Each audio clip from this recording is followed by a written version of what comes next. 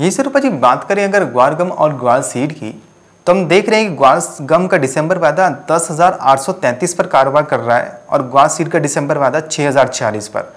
रूपा जी, आपने जो बताया था कि ग्वार गम और ग्वार सीड में जो गिरावट है, वो और ज़्यादा गहरा सकती है, नीचे में कीमतें और ज़्यादा गिर सकती हैं, वैसा ही हम होते हुए देख रहे हैं। आपको क्या लगता है, क्या यहाँ से अभी कीमतें और गिरने की कुछ आशंका है? देखिए बिल्कुल अभी प्राइजेस के ऊपर दबाव है आप देखिए अब ना जो मार्केट हम देख रहे हैं मार्केट हम्म। के अंदर अभी जो बाइंग आ रही है वो फ़िलहाल सोयाबीन है इंस्टेड ऑफ़ गुआर। तो अभी गुआर के अंदर एक बार फिर से बाज़ार जो है वो सुस्ती की तरफ़ जा चुका है।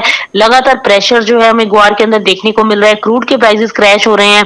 इस हम्म। वजह से भी गुआर के ऊपर जो है अभी जो लोग जो पहले एक तरफा बाइंग करते नज़र आ रहे थे वो अब कहीं ना कहीं डर का माहौल है। इस वजह से अब बाइंग्स को अवॉइड भी करते दिखाई दे रहे हैं।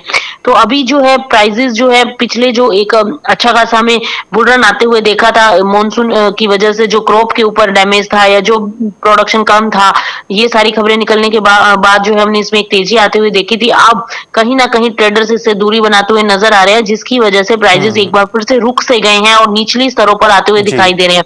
लेकिन फिर भी टेक्निकली अगर देखें तो हम दस हज़ार पर सपोर्ट है अच्छा खासा। अगर दस हज़ार के ऊपर बना रहता है तो वापिस से बाज़ार ऊपर जा सकते हैं और एक तेज़ी बन सकती है।